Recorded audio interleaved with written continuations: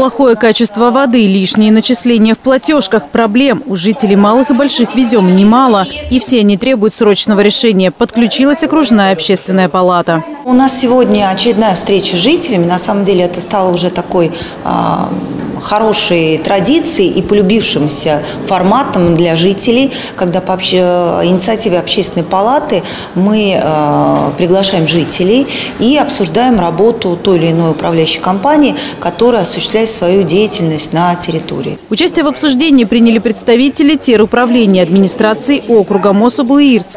Встреча продолжалась более двух часов. Вопросы, которые успели задать люди, касались работы управляющей компании, благоустройства территорий, обслуживания многоквартирных домов. Все проблемы и жалобы зафиксированы, а процесс их решения будут также обсуждать с жителями. Мария Шматкова, Эмилия Аркелян, Николай Бирюков, телекомпания «Одинцова».